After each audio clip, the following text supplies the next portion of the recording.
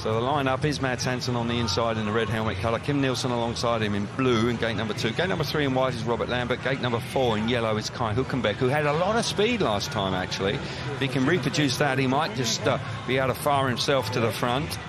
Uh, Kim Nilsson as well, he's been there or thereabouts. He's been solid enough, three third places. But uh, Robert Lambert, they did during the track grade just leave a little bit of dirt up top.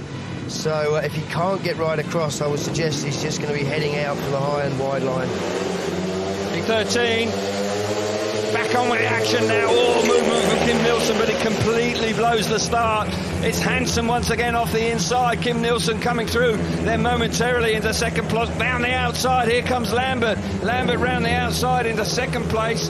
Now in the middle of the track. Hansen's very vulnerable. Kim Nilsson up the inside. Robert Lambert firing himself to the front, but Hansen rem remarkably, how on earth he hangs on, but Kim Nilsson surges through into second place. But a stunning move on the opening lap from Robert Lambert. Yeah, Kim Nilsson, a master of that inside line. Mads Hansen now going, oh, that got awfully close.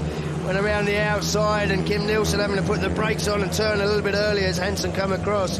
But uh, Robert Lambert looking good out front, riding high and wide, using the grip. It's not over yet for second and third. Out in front, Robert Lambert is comfortable. He is looking set for another win here. He's looking terrific.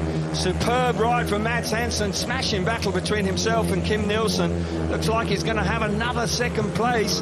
And Mads Hansen is set for the semi-finals as a reserve rider tonight. Kai Huckenbeck struggling at the back there. He is trapping. That's what's getting him in the points, isn't it, Mads Hansen? He's making super starts.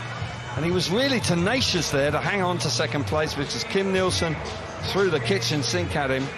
Three points for Robert so Lambert, two fell, points uh, for Mads back Hansen. to third place, but for Robert Lambert, he leads the Grand Prix on 10 Schultz, points now. Three points for him. Mads Hansen back in second place, two points. Kim Nilsson, one point for him. Kai Huckenbeck, no points there. Kim Nilsson picks up a warning for the movement on the start here. We'll clearly see it.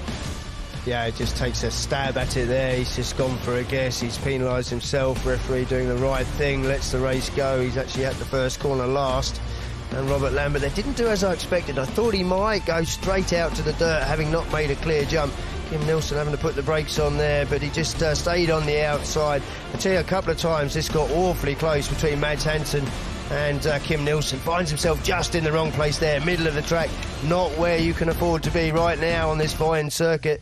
You've got to be out in the dirt or you've got to have your front wheel there across the curve. And there again, Dodgems as they leave turn two on lap three. Gets so, so close. Look at that. And you've got to say, hats off to Mads Hansen. He's been in the Well- thick of the action all night, scoring points every race. Eight points, one race win. Great chance of being in the semi-finals. Yeah, looking really good.